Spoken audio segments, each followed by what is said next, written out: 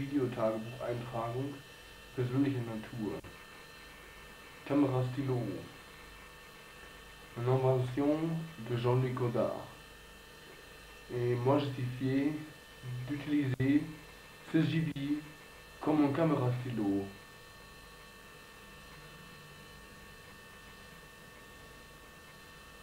Donc, j'utilise ce moyen technique avec la, participation d'une idée de M. Jean-Luc Godard. Alors, merci Jean-Luc que tu as inventé le caméra stylo. Moi, je suis maintenant en train de pouvoir utiliser ce caméra que tu as inventé avec ton esprit, ta sagesse.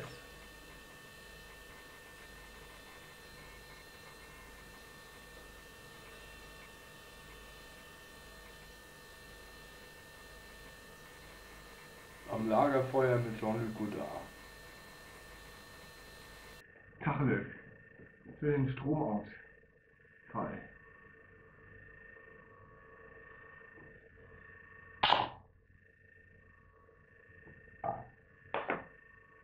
Wenn es soweit ist, ja. Die wechseln einfach dann irgendwie so den Namen. Und die Betreiber. Und aber dieselben Leute, die nach wie vor seit Jahrzehnten Milliarden an Geld anhäufen. Geldsummen in allen möglichen Währungen. Das ist ein reißerisches System. Sie erinnern sich an kein Deut mehr an die Wurzeln. Und wenn, dann soll man gefälligst vorher beten. Ich bin doch nicht bescheuert. Ich lebe im 21. Jahrhundert. Ich will doch keinen feudalistischen Handspeck. Es humpelt alles. Das ist Feudalismus, egal ob es DDR oder BRD heißt.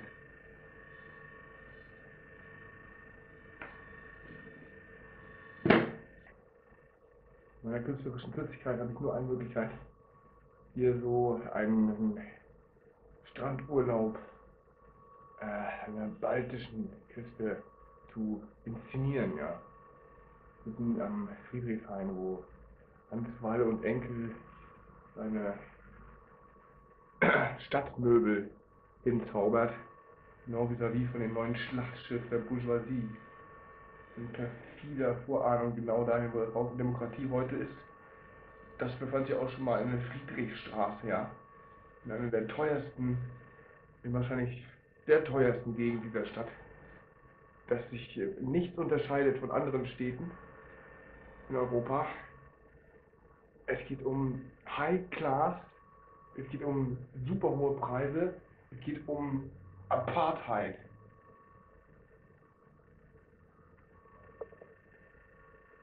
Schaut die Zuckschau. Unangenehme Wahrheiten, fiese Worte, untertitelt. Schönes 2007. Okay, Jan, da fällt mir eigentlich, für die Situation gibt es eigentlich nur ein Lied aus deiner Sammlung. Spiel das mal, ganz so. Giovanni, Giovanni, der Saft aus der Dose. Giovanni, Giovanni. Aber jetzt kommt der Hammer an. Es ist nicht nur der Saft aus der Steckdose mit den dazu genannten äh, Sachen, das weiß man. Ich habe hier auch übrigens den sterbenden Schwan. Voila, ich darf das mal irgendwie so sehen. Das ist der sterbende Schwan. Ich muss ihn in blau machen. Okay, jetzt äh, gewiss schon das Lied irgendwie so, setzt dann immer ein, wenn ich singe. Giovanni, Giovanni, der sagt aus der Dose. So, diese Leute bauen an einem Schiff. Das ist auch ein Schiff. So. Wenn man in Dänemark jemanden einen Arm abzieht, weil er nicht mal einen chinesischen Silvesterböller abfeuern kann, dann tut mir das wirklich leid für die dänischen Hausbesetzer, ja? Und das hier ein schönes Schiff. Und äh, die Dänen können auch nichts dafür. Das ist Borgenbo.de zum Beispiel. Ein berühmter Comiczeichner aus den Staaten. Der zeichnet immer diese grünen Menschen mit den großen Nasen und den Zylindern. Borgen Baudet heißt der Comiczeichner. Da drüben ist das nächste Objekt, was hier verschleudert wird. Nach dem Park. Gut, und äh, ich bin jetzt unterwegs zu dem dänischen Supermarkt, der immer Brutto mit Netto verwechselt und tausche eine Flasche um mecklenburgischen Apfelsaft. So, bleibt die Frage, Lunte oder Docht? Wo alle Kinder haben, kommen sie auf die Gedanken, die Schule mal zu renovieren.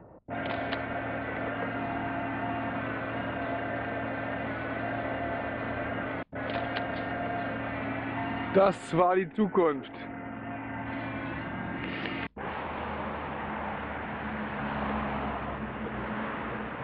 Eure kleinen und großbürgerlichen Träume könnt euch in den Arsch schieben.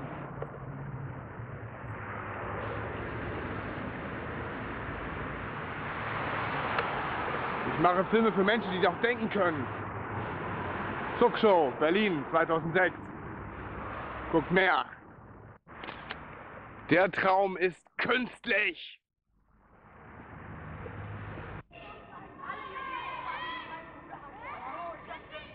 Ich hab verstanden, ich hab verstanden, alle auf der Welt. Alle packen in den Bier. Komm mal her. Ich mach von Mathe, dass ich das von Mathe Medizin Ja, 2006 war der wärmste November seit Beginn der Wetteraufzeichnung in diesem Land. Die Stare sind zum Teil hier geblieben dieses Jahr. Na, Forza, Brody! So, ein, zwei Worte zu Schröders Hegensatz 2010. Guten Appetit! Super. Ja, ach, nochmal. Los, nochmal. Okay. Supi. Und jetzt hierher.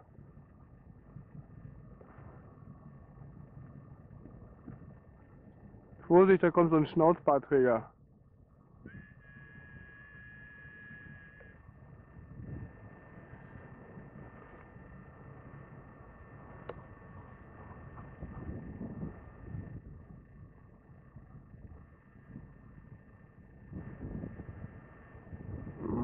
Ah, ich denk doch nur an dich.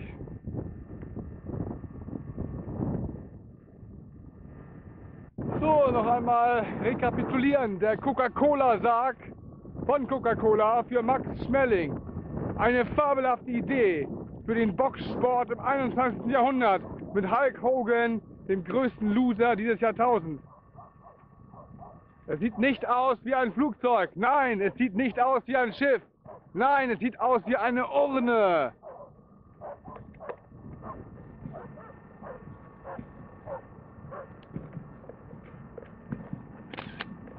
Des Boxsport. Sean Connery, mach's gut.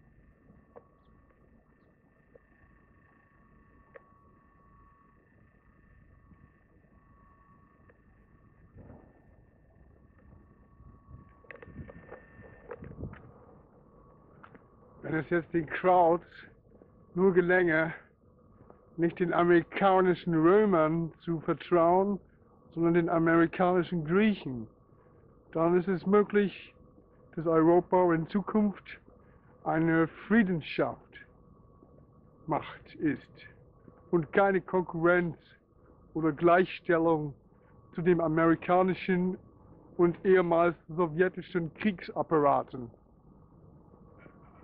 Peace, the Zug Show, Berlin.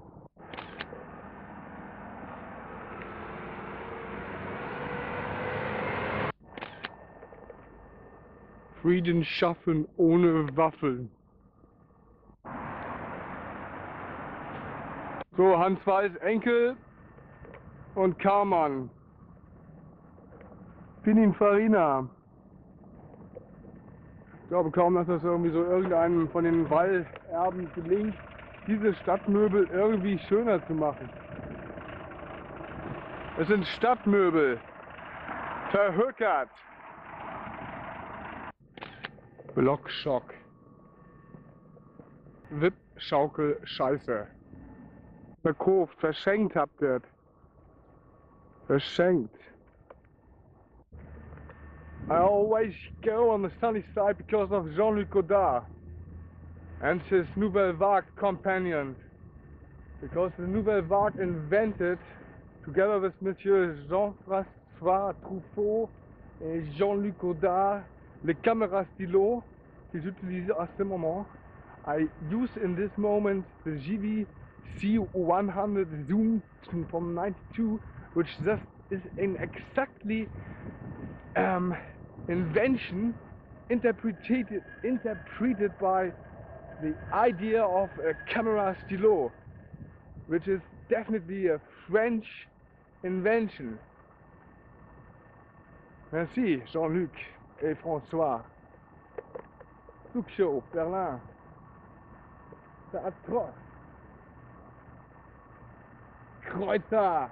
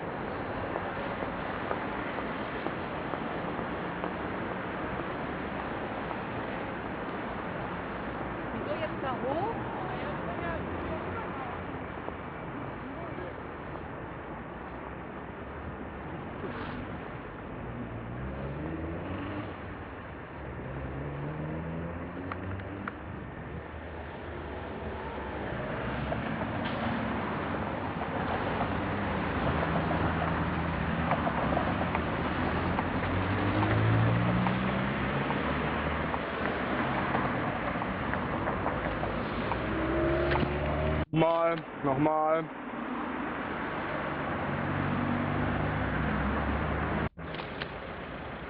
Exactly, exactly. Das ist alles vorgeplant.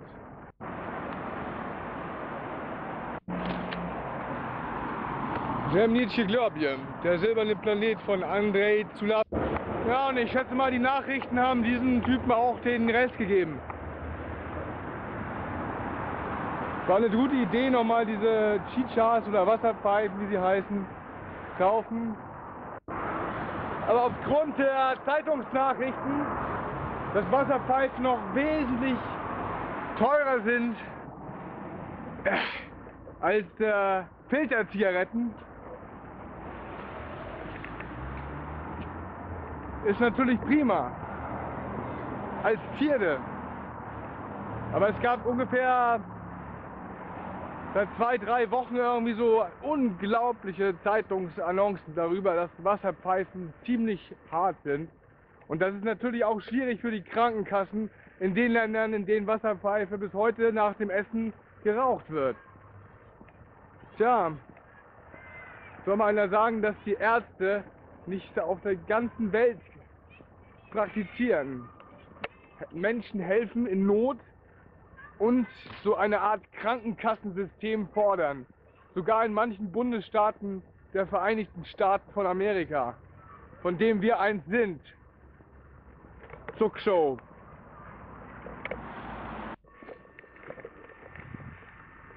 Ich brauche ein Postfach mit der Nummer. Aber hier gibt es nicht über 1000 Postfächer. Ich brauche ein Postfach mit einem. Ich brauche ein Postfach mit einer Nummer, die mehr als dreistellig ist. Hier gibt es kein Postfach mit einer Nummer, das mehr als dreistellig ist.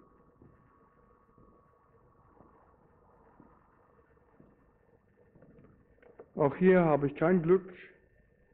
Es gibt hier nur 860 Postfächer. Und eins davon ist geöffnet. Nämlich die 0108. Da packe ich jetzt mal die Kamera rein.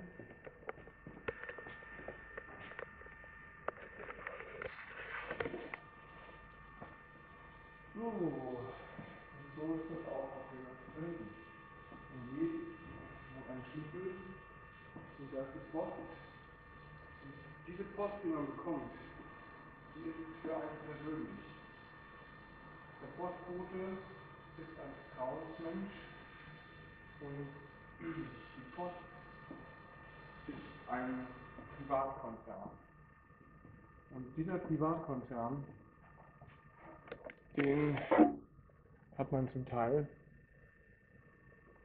Und dieser Privatkonzern ist natürlich ein fantastisches Beispiel dafür, wie die Post abgehen kann. Von Bertelsmann bis zur Europäischen Post ist es nur ein ganz kleiner Schritt.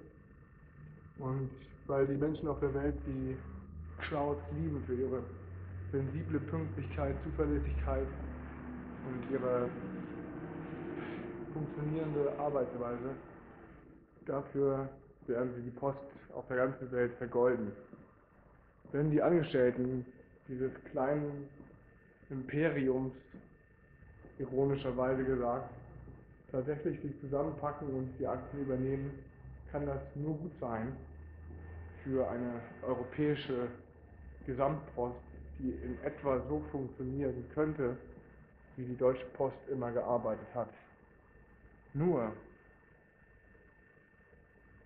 ich weiß nicht, ob man überhaupt noch so viele wertvolle Dinge braucht. Weiter im Text. Das wollte ich. Danke, Herr Kamera. Das wollte ich haben.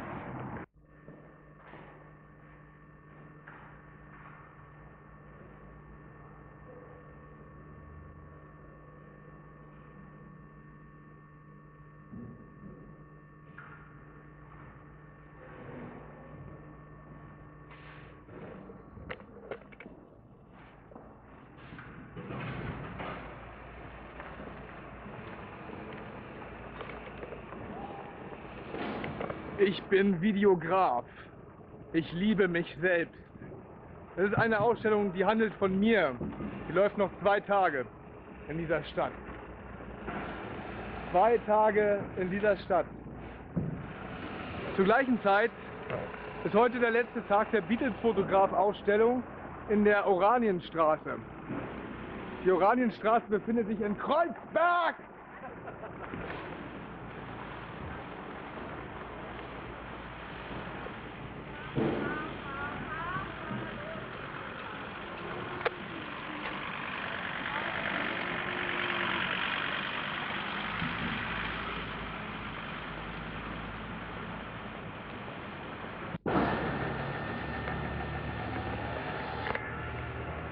Die Plattenfirma der Beatles. Eine wunderbare Firma. Odeon. Im Anschluss hatten sie ihr eigenes Label, das hieß dann Apple. Und heute heißt es, kauft euch Love. Das neue Beatles-Album mit der Frisur von Angela Merkel.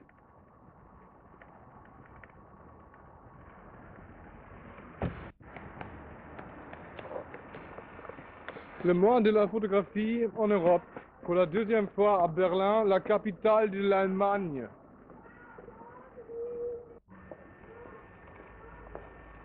Hibbity hop over the hill. Cross.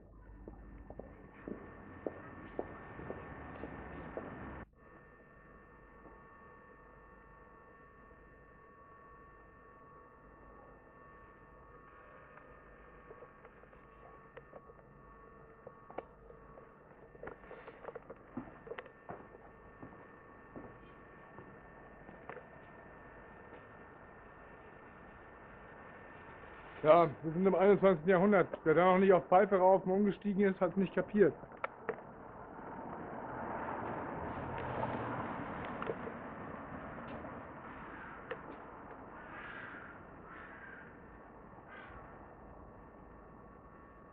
Oh, meine Papageien. Nochmal zurückspulen. Habt ihr doch gehört? Das könnt ihr, ne? Sehr gut. RTL, Radio Tele Luxemburg, hat eine Filmproduktion gemacht. Die hieß Angriff auf Berlin. Mittels Molotow-Cocktails, Motorrollern und halb verhungerten Junkie-Autonomen. Der Film wird in 3D gezeigt.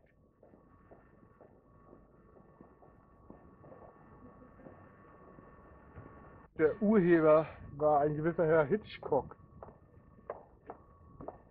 in der Nähringstraße.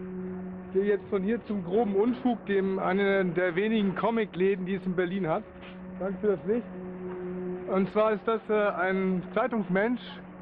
Und ich hatte in Charlottenburg in der Nähringstraße, als das Sanierungsgebiet Charlottenburg irgendwie so weit war, tatsächlich einen Flyer gemacht mit dem berühmten Zeitungsjungen von Marcel Gottlieb. Und das ist natürlich auch der Zeitungsjunge von Marcel Gottlieb. Das ist Wilhelm Busch übrigens. Und interessanterweise ist nur dieses Buch bekritzelt und sonst nichts. So, und jetzt gehen wir zu meinem Lieblingsladen. Das ist der grobe Unfug. Den gibt es insgesamt zweimal in Berlin, vielleicht auch in Wuppertal und Dresden. Ist mir auch völlig wurscht, wo es den sonst noch gibt. Aber ich hoffe, dass der Marcel Gottlieb da seinen diesjährigen Kalender auch noch drin hat. So, diese Karren werden immer edler, interessieren mich überhaupt nicht, weil die letztendlich überhaupt nichts kosten außer Steuern. Würde mal einlenken hier irgendwie so. So, da haben wir auch schon das goldene Kalb, weil darum geht es letztendlich irgendwie auch immer. Das Goethe-Institut lasse ich jetzt mal außen vor. Der Fernsehturm geht unter, weil das Internet natürlich dafür da ist, dass die Leute vom Fernseher wegkommen, ja. Vom Sofa, vom Bett steht der Fernseher. So, und hier ist Marcel Gottlieb.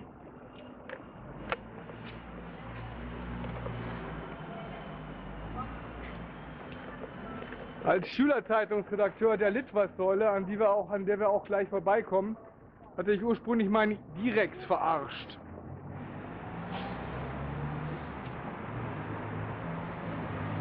Diese Geschichte habe ich euch schon mal erzählt. Es geht noch weiter.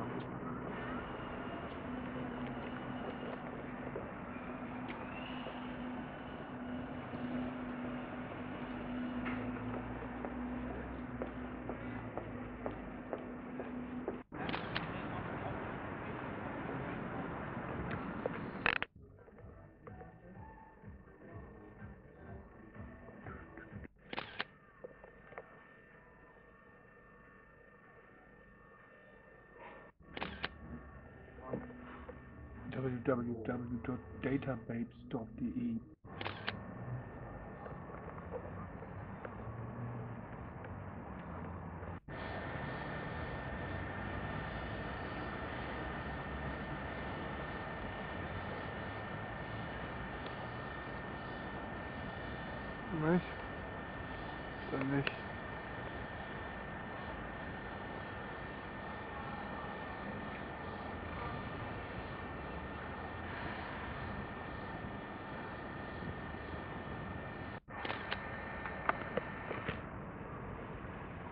Grünspan.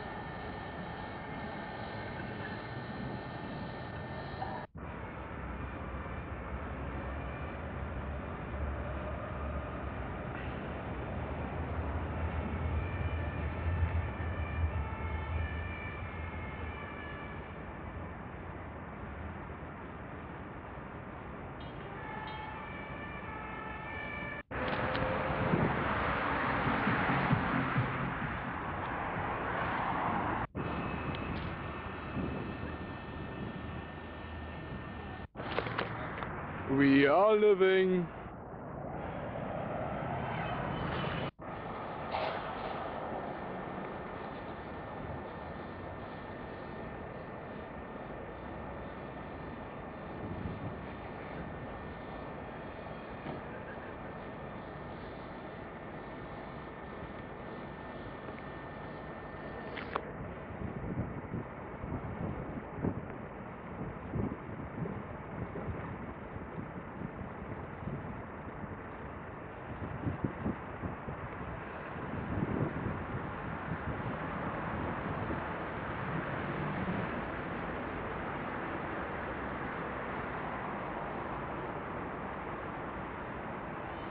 Inty sweet.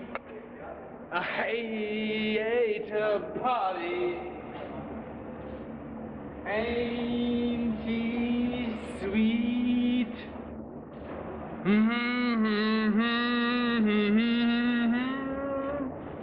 This is Robocop shit, and you don't read it well enough to know that it's pop shit. All of, all in all, in a sudden.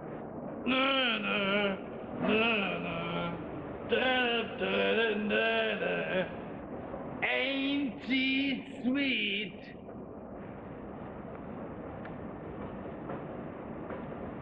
And I think she can't get no satisfaction.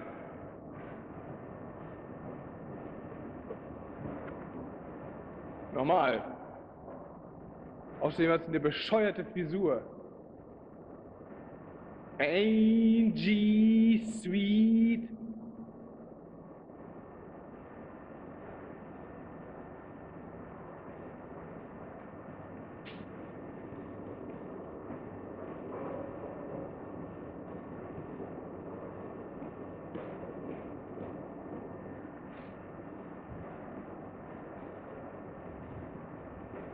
Das ist die Werbeagentur der CDU.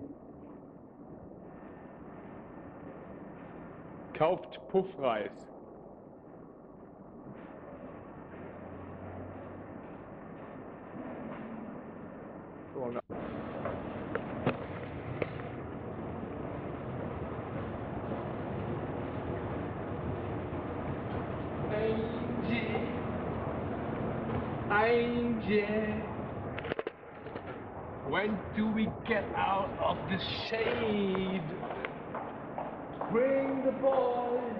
Back.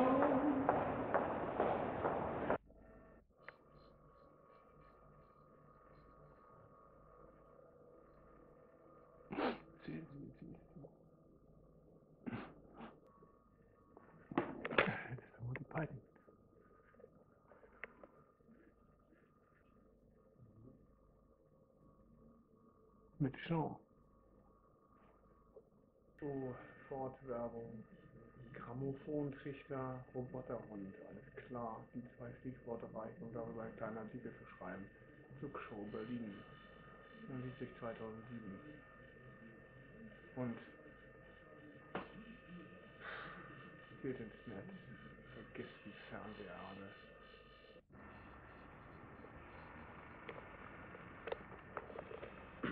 Well, this thing, uh, this uh, demon looks like um,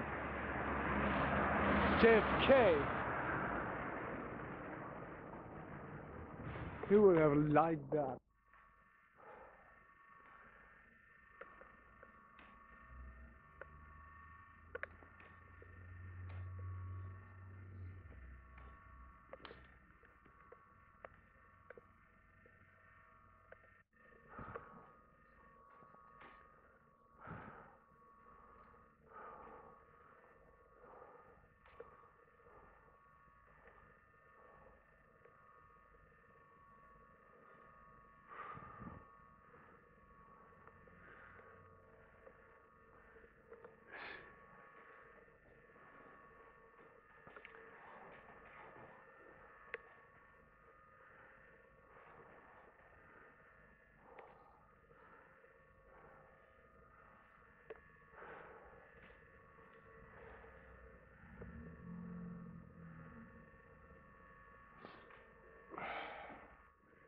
Ja.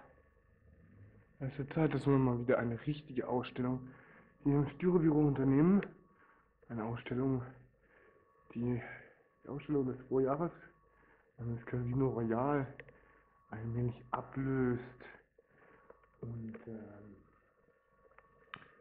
wir wollen natürlich, äh, dass hier die Leute, die uns äh, unterstützen, immer auch das Neueste vom Neuesten, bevor es im Internet veröffentlicht wird, äh, zu Gesicht bekommen. Derzeit fehlt hier noch die technische Ausstattung, die dafür nötig ist, Videomaterial adäquat zu betrachten. Und dieses ist gerade die Sache, an der wir arbeiten. Aponau 20 Jahre Super 8 Spielfilm. 20 Jahre Zuckfilm mit all seinen bekannten Gesichtern. Und ich freue mich, dass ihr alle hier dabei seid. Denn es gilt. 2006 ist over. Und es gibt die Globuli.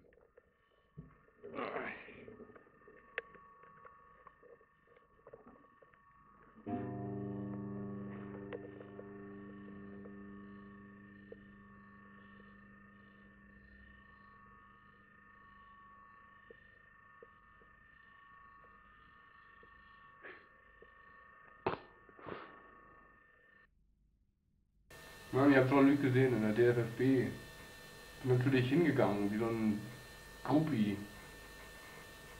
Richtiger Grouper.